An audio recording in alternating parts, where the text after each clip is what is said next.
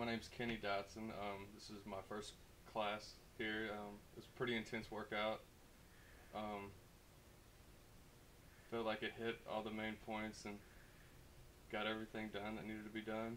Um, it's good cardio. It's good stamina. It's pretty overall. I liked it.